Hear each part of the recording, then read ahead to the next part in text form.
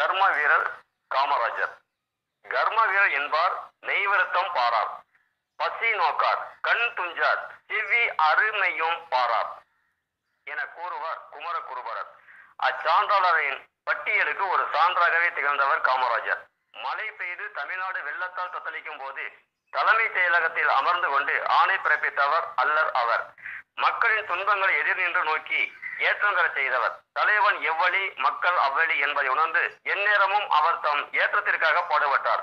உள்ளத்தால் பொய்யாத உலகின் உலகத்தார் உள்ளத்துள் எல்லாம் உளன் என்ற குரலுக்கு ஏற்ப தலைமை பதவி தன்னை வந்து தழுவிக் கொள்கின்ற நேரத்திலும் கூட துச்சமாக எண்ணி தூர நின்றவர் வெள்ளையர் அரசு விடுதலைக்கு முன் மாநில சுயாட்சி வழங்கி தேர்தலை நடத்திய போது சிறைக்குள் இருந்தபடியே தேர்தல் ஒன்றில் வெற்றி வாகி சொல்லினார். பின்னரும் வெள்ளையரின் ஆட்சியில் எப்பதவியையும் ஏற்கக்கூடாது என்று அப்பதவியை துறந்து விட்டார் அரசாங்க அதிகாரிகளோடு ஒரு முறை அவர் சேரிகளுக்கு சென்றார்.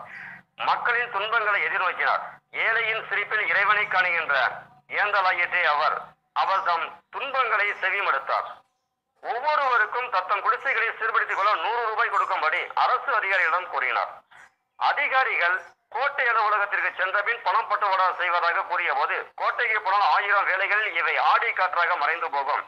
இவர் தம் தேவையை இப்போதே நிறைவேற்ற வேண்டும் என்று கூறி உள்ளூர் அரசு கருவூலத்தில் இருந்து அப்பொழுதே பணப்பட்டுவாடா செய்ய உத்தரவிட்டார். இதனால் ஏழைகளின் இதயம் நிறைந்து கண்களில் கண்ணீர் நன்றியாக வெளிப்பட்டது. ஏழை பங்களனாக வாழ்ந்தார். தான் பிறந்ததும் வாழ்வதும் தனக்காக மட்டுமே என்று எண்ணாமல் ஊருக்காக தன்னையே தியாகம் செய்ய முன்வந்தார் அவர் ஆற்றிய செயல்கள் ஒவ்வொன்றையும் ஆளுவோரின் கடமையாக எண்ணி செயல்படுத்தவில்லை. ஒரு மானுடனாக இதயத்தால் உணர்ந்து இருக்கண் கொண்டு நோக்கி எழிலுற செயல்படுத்தினார். தனது பணி முடிக்க உணவு ஓய்வு உடை எது பற்றியும் கவலைப்பட மாட்டார் காமராஜர். முக்கால் கை கதர் சட்டை வேட்டி மேல் பாக்கெட்டில் ஒரு கண்ணாடி கூடு தோளில் கதர் துண்டு காலில் சாதாரண தோல் செருப்பு கர்மவீரின் சொத்தே இவ்வளவுதான்.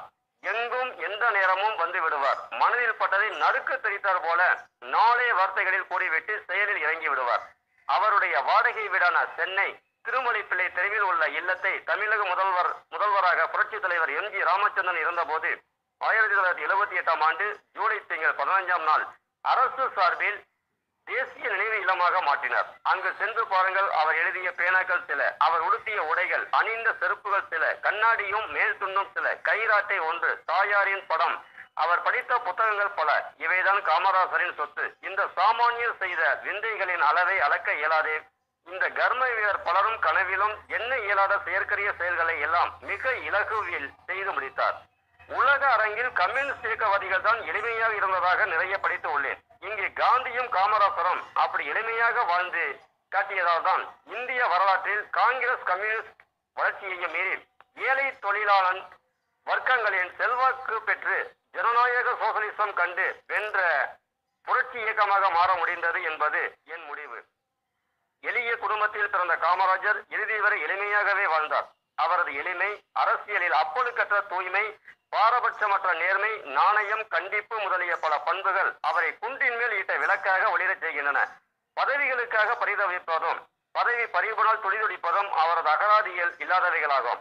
நாட்டு தொண்டுக்காக பதவியை உதறிவிட்டு மற்றவர்களுக்கு முன் உதாரணமாய் அவர் திகழ்ந்தார். பற்றற்ற துறவுமானம் படைத்தவர்களுக்கு இப்படிப்பட்ட செயல்கள் எல்லாம் கைகூடும். அவர் ஆயிரத்தி தொள்ளாயிரத்தி முப்பத்தி ஆறில் தமிழ்நாடு காங்கிரஸ் கட்சி செயலாளர் பொறுப்பேற்றார். ஆயிரத்தி தொள்ளாயிரத்தி முப்பத்தி ஏழிலும் ஆயிரத்தி தொள்ளாயிரத்தி ஐம்பத்தி நாலிலும் தமிழ்நாடு சட்டப்பேரவை உறுப்பினரானார். ஆயிரத்தி தொள்ளாயிரத்தி நாற்பது முதல் ஆயிரத்தி தொள்ளாயிரத்தி ஐம்பத்தி நாலு வரை தமிழ்நாடு காங்கிரஸ் கட்சி தலைவராக இருந்தார். ஆயிரத்தி தொள்ளாயிரத்தி நாற்பத்தி ஒன்றாம் ஆண்டு விருதுநகர் நகரசபை தலைவரானார். ஆயிரத்தி தொள்ளாயிரத்தி நாற்பத்தி ஏழில் அகில இந்திய காங்கிரஸ் கமிட்டி உறுப்பினராகவும் ஆயிரத்தி தொள்ளாயிரத்தி நாற்பத்தி ஒன்பது முதல் அகில இந்திய காங்கிரஸ் காரிய கமிட்டி உறுப்பினராகவும் பொறுப்பேற்றார். ஆயிரத்தி தொள்ளாயிரத்தி ஐம்பத்தி ரெண்டிலும் ஆயிரத்தி தொள்ளாயிரத்தி அறுபத்தி ஒன்பதிலும் நாடாளுமன்ற உறுப்பினராக திகழ்ந்தார்.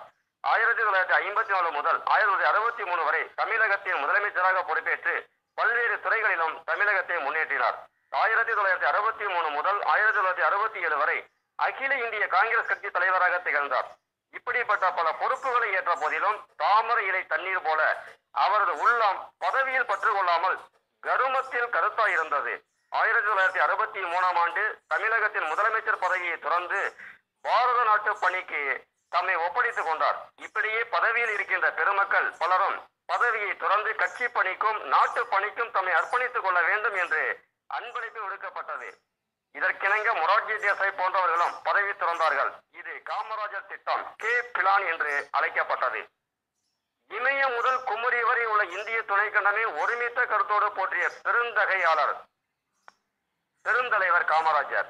அவர் நினைத்திருந்தால் இந்திய நாட்டின் தலைமை அமைச்சர் பதவியில் தானே அமர்ந்திருக்கலாம். அமர்ந்திருக்கலாம். தியாக மலராய் மனம் வீசிய அந்த உயரிய தலைவர் கைகாட்டிய பேர்கள் ஆட்சி கட்டில் அமர்ந்தார்கள். பண்டித நேருவுக்கு இணையாக பாரதம் போற்ற வேண்டிய பெருந்தலைவர் காமராஜர் தூய அரசியல் வாழ்வுக்கு இலக்கணம் வகுத்து தந்த தொல்காப்பியர் ஆவார்.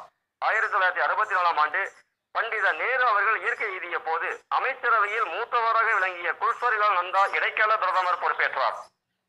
அடுத்த பிரதமர் யார் என்ற வினா இருந்தது அதற்கு முற்றுப்புள்ளி வைத்தவர் சிவகாமியின் செல்வராகிய காமராஜர். ஆமாம் எளிமைக்கும் தூய்மைக்கும் செயல் திறமைக்கும் உறைவிடமாய் திகழ்ந்த லால் பகதூர் சாஸ்திரி அவர்கள் இந்திய நாட்டின் தலைமை அமைச்சர் பொறுப்பேற்றார்கள். ஆயிரத்தி தொள்ளாயிரத்தி அறுபத்தஞ்சாம் ஆண்டு பாகிஸ்தான் போர் மூண்டது. போர் முடிவின் போது ஆயிரத்தி தொள்ளாயிரத்தி அறுபத்தி ஆறாம் ஆண்டு ஜனவரி பத்தாம் நாள் சோவியத் ரஷ்யாவில் ஜாஸ்கன் நகரில் இந்தியா பாகிஸ்தான் ஒப்பந்தம் கையெழுத்து ஆயிற்று. அங்கேயே லால் பகதூர் சாஸ்திரி மரணத்தை தழுவினார்.